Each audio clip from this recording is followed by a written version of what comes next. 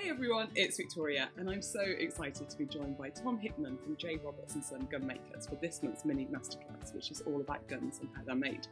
By the end of this video, hopefully you'll have a really good understanding about different parts of the shotgun, how they work, and how a gun's made. I think this subject is so fascinating, so it's great to have Tom here. So, Tom, can you just tell us a little bit more about you and what you do before we get started, please? Hello there. I'm Tom Hickman. I work for J. Roberts and Son down in Sussex, as you said, and um, I'm my apprentice. I apprenticed with them um, starting in 2012 and finished now. And working, I apprenticed as a, a gun finisher, so that's doing the finishing of the gun stocks and prepping for engraving. Um, but we do all sorts of gun fit and gun alterations for everyone really. And uh, yeah, so we cover lots of bases down here in our little workshop. Brilliant. That's so good. You've got an amazing reputation. So, yeah, it's really good to have you here. So, let's get stuck in then. Can you just tell us what the main parts of a shotgun are, please? So, the shotgun is basically the working parts, barrel, and stock. The it, it's, it is as simple as that. It's normally two tubes. The cartridges go in, pull the trigger, goes bang, go, and and the wood is so it's comfortable. Brilliant. Um, yeah, and uh, there's lots of variations of the same thing, uh, and you, you, I've I've not been in the trade long enough to have seen them all, learnt about them all. There's there's so many di- differences in them all. Mm-hmm. So. So, how about things like? Um, could you point out things like the comb and like the heel and the toe, and just for those ladies that don't know? So your comb measurement, comb and a lot of measurements now are done at face, and this is your heel.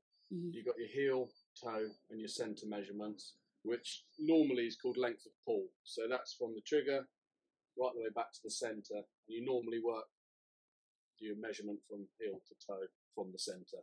Brilliant. Excellent. So, how about what's inside the kind of working parts of a gun? Well, this this is um, one of our most popular guns we sell. This is a Rizzini 20 bore uh, round body. Um, this one's colour case hardened. It's not for everyone. Sometimes they're coin finish, but um, inside here, um, I'll just show you quickly. There's two screws I've taken out, and in the back there's a little hole which also has another screw. You take that out, and sit that in the vise, and that's your stop key. Mm-hmm. That goes up back into a little Allen key slot. And that.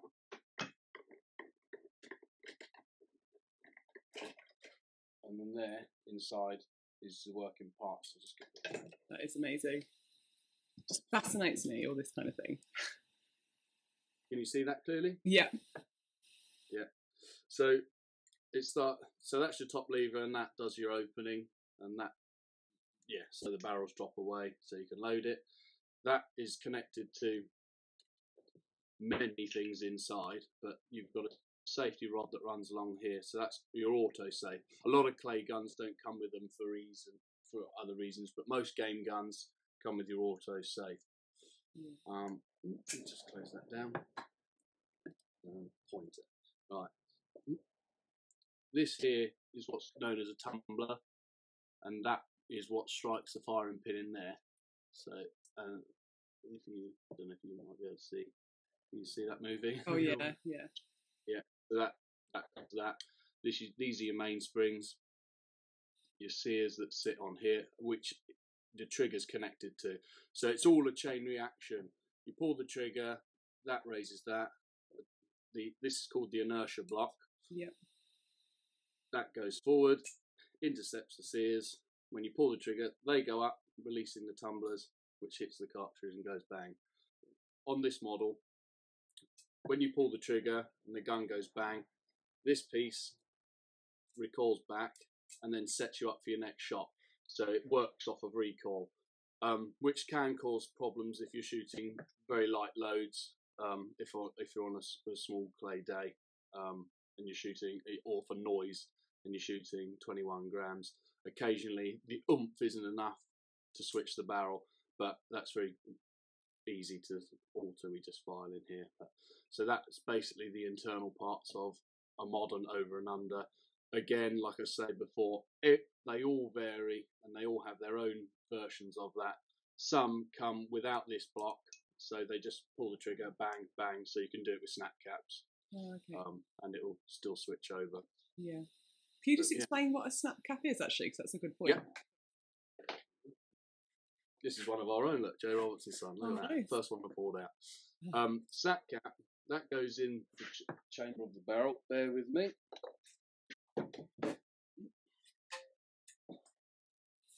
So this is just an old cyber slide, but so that sits in there. And so what it does, you can use the gun to practice to get the feel for the trigger pulls um, and get used to the way the gun feels without damaging. Because a lot, if you pull the trigger without uh, snap caps in, the firing pins can jolt too forward, and that's how you end up with a, a broken firing pin. So these are literally exactly the same as a cartridge. They got a spring piece in the top, and so that the pin hits that, but hits back against it, so it won't break basically Brilliant. but they're really useful. Um, and you can we use them for testing ejection and for testing the way a gun feels, and we yeah we use them a lot. Excellent. Okay, so making a gun from scratch then, Tom, how long does it take? I think that's quite an, you know a good question to know. Yeah, um, I mean we, we here we make bolt action rifles. We do occasional double rifles. We're more of a rifle manufacturer. Um, excuse me. Some of the best guns can take from um, probably 18 months onwards. Some are quicker. The Rizzinis that we have in stock, we um, we have them made to measure because we're the custom shop. So uh, Mm. people come to us and tell us what what they want, and we build them to their specification, which is very popular as you can imagine. Yeah. Um, and we normally they normally take within six months to eight months, again depending on what it is. If it's hand engraved, sometimes longer. Um, but but because there's not so many people in the trade um, anymore, there's queues for the people that are doing the sort of jobs that we can't do here. So the engraving, Mm. and um, yeah, so Oh, amazing. So, what is the process of actually having a gun made for you then? Could you just talk us through Well, the, when when we have um, we'll have normally it starts with an email. Hello, I'm interested in one of these. Do you have this in stock? Um, and more often than not, we say yes. Um, and if and then a lot of the time we have people come to us and say, I need a gun. I want this, this, and this. I can't find one anywhere. Is it something you can do? Mhm. and we have a list of specifications. We go through each one, and we we discuss with the person um, why they want what they want, and um, a lot of the time they go, "Oh, I hadn't thought about that. Oh, that's a good idea." It's because well, my boss Paul Roberts, he's been in the trade for sixty years, Wow. so over the years you learn what people want and what just phases are and things, but Mm, Often it's barrel length, what choke, although most of the guns we do are multi choke, mhm. stock length, stock measurements, um, engraving, and it's all the sort of the finer detail which takes the time, but it's once you've got that basic, this is what's going to happen. We're not going to have a game room, we're going to ventilated rib, you know, um, it's pretty straightforward. Send off the um, um, order form, and yeah, six months later we get a case come over. So Oh, very satisfying. yeah, awesome. So, you said that you don't do um, engraving on site. You send that off somewhere else. So, can you tell us, um, for those ladies that don't know, um, how like how do they actually do engraving these days on, say, like a mid kind of range gun as opposed to you know, like a vest? Well, this one uh, is that is that close enough? yeah, You, yeah, you can you can see the scroll. That's actually done by laser now. So how it works is when their guns go into their first prototype models, they'll they'll they'll get it all functioning. And an engraver, a hand engraver, will do hand engraving of the whole thing. So it would be properly hand engraved and much more time and effort goes into them. yeah. But then all the computers take over. They'll scan it all, and modern day laser will engrave that. And I mean, you can't feel it, but it's as crisp as hand engraving now. And modern engraving is this laser engraving is really something to. Well, it's, you can see for yourself. It's um. It's a work of art. it is. Yeah, it is. Um, with the colour case hardened action, I've got. I've bear with me. Probably clearer with that one. So Oh, yeah. see, yeah, so you can see that one clearer. Yeah. So that's the same gun, but with the coin finish, like I mentioned earlier, yeah. and you can see the detail, as well as the laser engraving on the action. The laser will also cut the checkering. Mhm. Um, in England, we don't do do it by laser. That's all done by hand, and it's it's done by lines to the inch. So this is, um, I think, this is about 22 lines to the inch, um, and on on average, it's 22 lines to the inch or 20, and that just gives you the feel in your hand, same as on the forend. Mhm. Um, and it's just for comfort and for grip. Some people don't like it sh- like sharp styles. There- There's all different styles you can have with it. Um, but uh, yeah, it's it's the the idea is just for grip in your hand. Yeah. So yeah, It's it's like it never like ceases to amaze me just like how much work goes into making a gun. It's just like it, it Yeah. really is like an art, isn't it? It's you know, well you are, you know, it, well, aren't you? it's uh, um, I mean checkering, which I do now um, on on English guns. That's taken me probably well. I've been in seven years this um, this summer. Quite that's scary, um, but it's taken me all of that time to really sort of get in, get to grips with it. And like I said earlier, with you'll never learn about every single gun. The same as every gun maker has their own style of checkering. So if we restock a gun and uh, so I'll copy what's on that old stock. Um, and there's uh, yeah, ev- there's always little personal touches. Mm, like signatures. Yeah, because no no two people can checker them checker the same. They've got different eyes, they've got different hands, they've got different feel of the checkering tool. Um, a checkering tool, just to show you. I love your workshop. Yeah. Uh, it's full. That's the problem. so, so that's a that's a checkering tool. This is a homemade job, um, and that that cuts your sort of master lines and goes through it. Um, that will just make it sharp and comfortable. And then these tools, I don't know if you can see. Yeah. So that's that cuts three lines at a time, but I don't often use that. I prefer working with two lines at the time. So It's Yeah, so precise, isn't it? It's incredible. Like the patience. How long would it take to check a, a gun? um, it it depends. So this one here, this is one of our new rifles, which um, this is a 375 bolt action rifle, which you probably won't be shooting at your clay day, but um, so this one. That's that's hand checkered, and you can probably see the difference between um, laser and hand done. Yeah. Um, that was probably six hours in total. I've still got to run through it uh, final time once I've all finished it.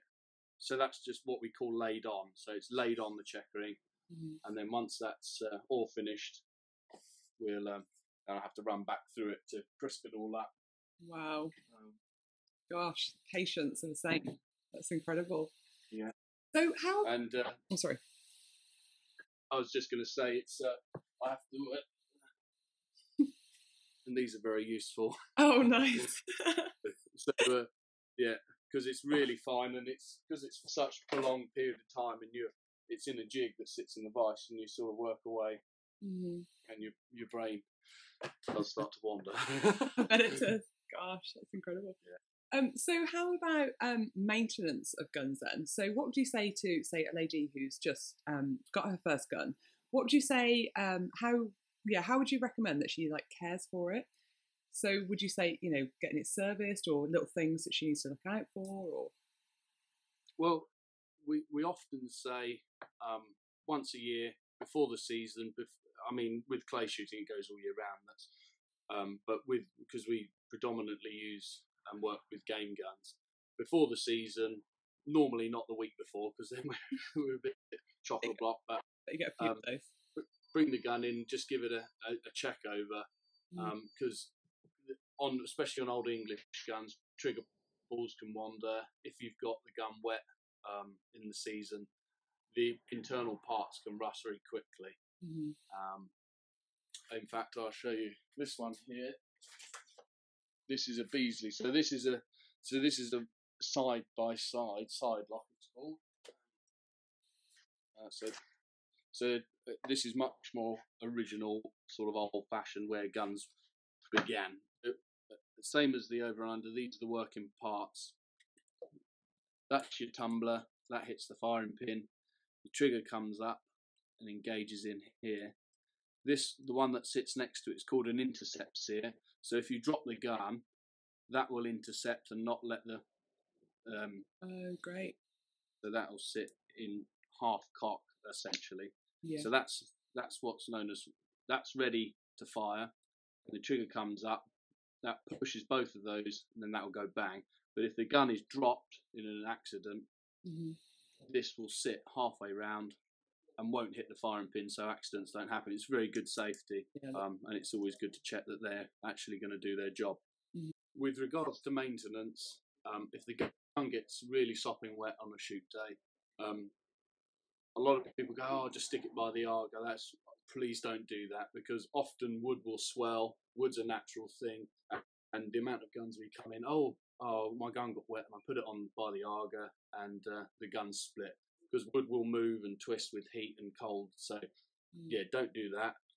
It's better to just sit it, let it dry naturally in sort of room temperature, not by heat, and then bring it into your gunsmith, your local gunsmith, and they'll open it up like I showed earlier.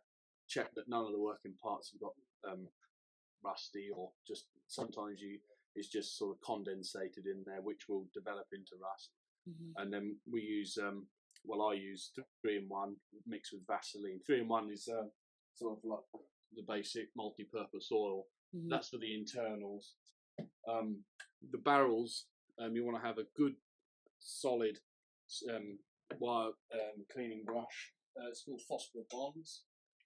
So, hmm, something like that. So that's this one's for a 20 bore, and that wire wool is what we use to remove leading, and leading is often overlooked in barrels.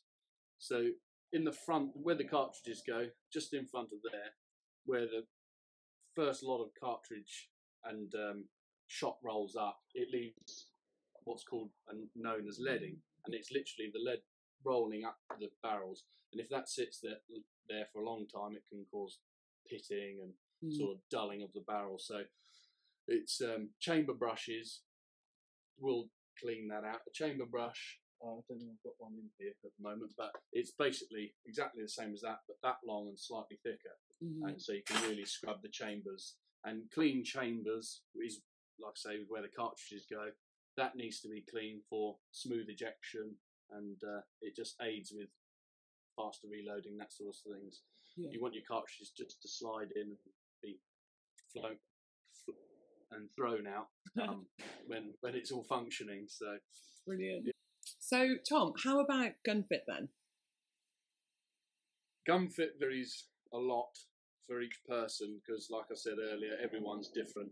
Um, but of late, we've been doing. It's great to see lots of ladies are coming into shooting. Um, the problem we have is guns being sold to people without the knowledge, in the sense of knowing what the correct m- mount and fit should look like.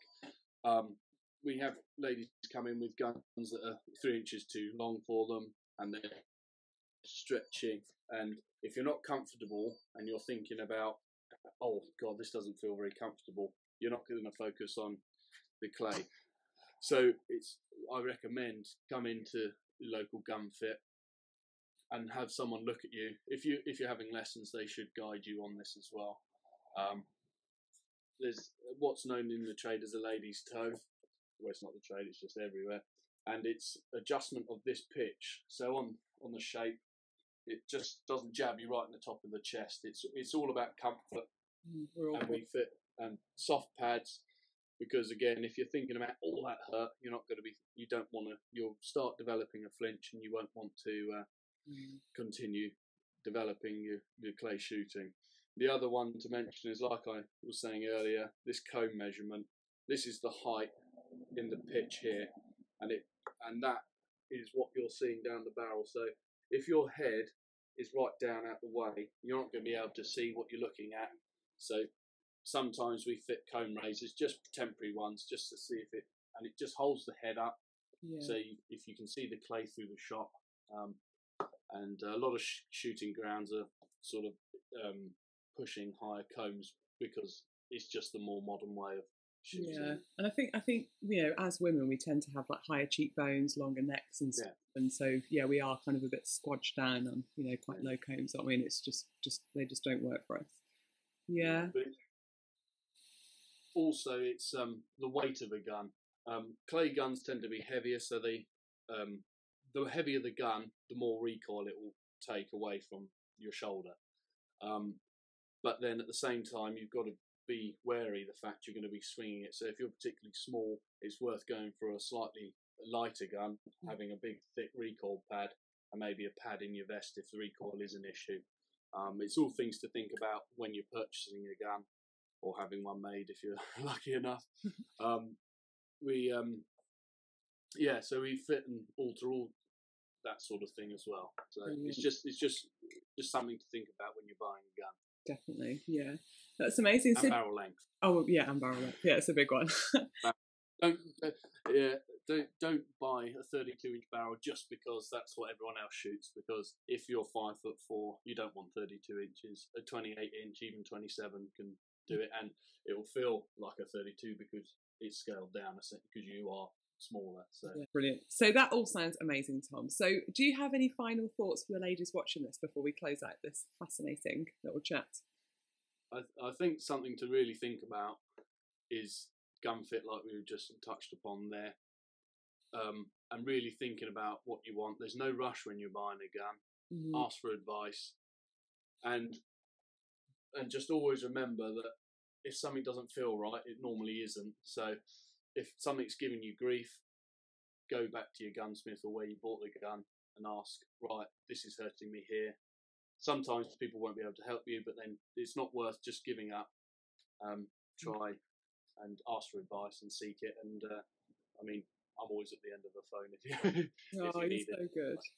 Oh, that's So- such yeah, great advice. Thank you so much. So, if people want to find you online, where or, or offline actually, uh, where can we find you? Well, we've got um, website which is J Roberts and Son Gunmakers. It's just easy to type into Google. Um, we're not up to date on. We are on Facebook actually. Yeah, J Roberts and Son Gunmakers are on there as well. Um, should probably get onto Instagram at some point, but uh, Okay. I'm on there personally. Yeah. Um, but uh, yeah, And what's your yeah. So your- what's your personal Instagram name? At Gunman Tom. Brilliant. So I recommend that all ladies follow you. There's, uh, th- th- most of it is guns because I'm a sad act, but no, well, that's what that's what we love. Yeah. yeah, yeah, no. And um, yeah, we're um, we we most of a lot of the guns are on a website called Gunstar as well. If they're Oh, okay, great. Oh, well, I'll put all the links to that with this video as well. And Yeah. Yeah. stuff. This has been so useful. Thank you so so much. I'll see you soon. okay, bye bye.